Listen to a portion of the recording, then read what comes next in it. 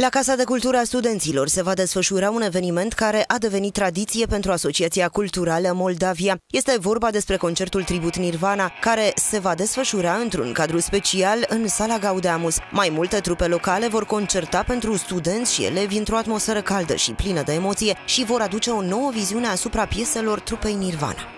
Cu scopul acestui eveniment este de a promova tinerele trupe și totodată de a aduce acest tribut formației necunoscuta formație Nirvana, pe care cu siguranță o știți cu toții. Trupele noastre care vor performa în ziua evenimentului, ne vor cânta și ne vor încânta pe 2 aprilie, sunt artiști Petra Music School, Edelweiss, Archville, Drunken Owls, Butterfly Effect și White Shadows și vor aduce o nouă viziune asupra muzicii Nirvana prin recrearea pieselor de la Tribun Nirvana. Sunt trupe locale, și încercăm să promovăm cât mai mult artiștii locali din Iași. Noi deja am uh, completat formularul de înscriere și vom fi acolo pe 2 aprilie. Uh, abia așteptăm, abia așteptăm. Da, și eu o să particip, mi se pare foarte interesantă ideea.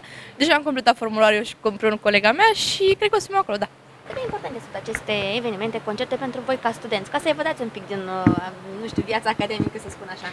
Mi se pare o oportunitate foarte importantă pentru toți cei care vor să cunoască diferite tipuri de activități și chiar încurajez ideea asta să ia mai multă amploare în lumea studenților și a lumii în general. Concertul se va organiza pe data de 2 aprilie, cu începere de la ora 18 în sala Gaudeamus a Casei de Cultură a Studenților. Intrarea este liberă, însă este necesară completarea unui formular ce poate fi găsit pe pagina de Facebook a Asociației Moldavia. Nirvana a fost una dintre cele mai populare trupe de rock din America, formată în anul 1987, iar muzica lor a fost un amestec de punk și alternative rock.